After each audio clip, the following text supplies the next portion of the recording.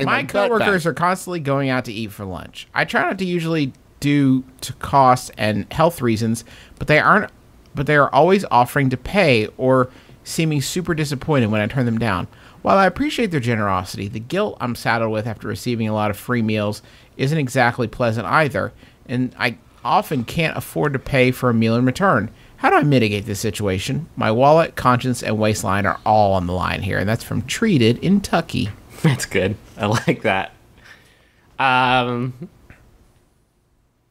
tell them to fucking who. Why does somebody care so much about what you're eating all the time? You have to go.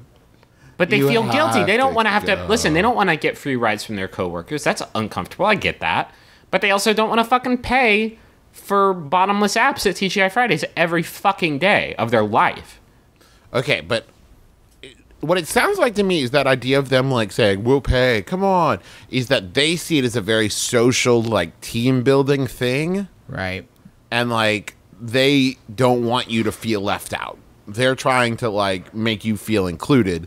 Whereas you're looking at like no I, I i'm happy to hang out. I just don't want to go out to eat every day which makes total sense to me This sounds to me suspiciously like a free introductory offer. I feel like you're going to get there, enjoy some like bottomless French onion soup or something, and then at the end they think, "Boy, wasn't this fun? We were, we were happy to pay this time, but I feel like we could really keep these good times going if we could just get you to commit to six meals per month and get on this timeshare at TG, this TGI Fridays timeshare with us." Then uh, we think that this could really be the start of something big. Two weeks out of every year this appetizer plate could be yours This could be Think your about ad it. plate. Um, the other 50 weeks, people are going to touch it. And that's not great. I'll be honest. I don't love that part of the arrangement.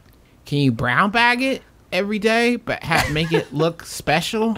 Ooh, ooh! Tell him like a, a sick family member made like uh, you know, my my nanny made me. My no, I can't say makes nanny. My nana made me like the sandwich. I feel so guilty. My adult nanny, my, adult, nanny. babysitter, uh, made this for me. She's very Mrs. sick. Poppins would be really disappointed. That's if gonna didn't work for- sandwich. That's gonna work for a week, Trav. That's not a long term solution. Because after four months, you're like, yeah, nanny, my adult babysitter's still pretty sick, so I better. Well, no.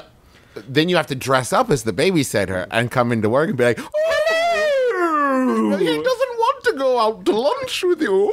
Michael, I can't help but notice my special lunch remains uneaten here. Oh man. Can you go to the okay, okay, okay, okay, okay, okay. You go to the bathroom. You dress up as your adult nanny, missus Doubtfire 2.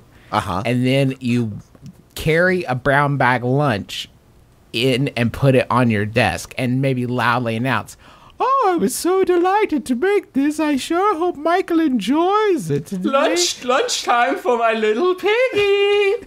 Where is that sweet piggy? I never seem to see him around. Have you ever noticed how you never see us in the same place at the same time? Well, I need to go shit. I'm going to go shit for five I had some bad Mexican food at that restaurant you're always trying to get Michael to go to. You might expect me to leave out the front door. I ate there once in 1987 and haven't stopped shitting since. Goodbye. I'm gonna, I'm gonna go climb out the bathroom window. Have you guys ever noticed how Michael's adult nanny Mrs. Doubtfire 2 seems to only enter and exit the building via the men's bathroom? I just went in the men's bathroom and I just saw her clothes lying on the ground. I think she shit herself out of her body. Is this the start of Left Behind? Has uh, Mrs. Doubtfire 2 been raptured? Oh man. I think that'll work. yep. I know we were joking, but now I'm like ruminating on it. and I think that'll actually be great.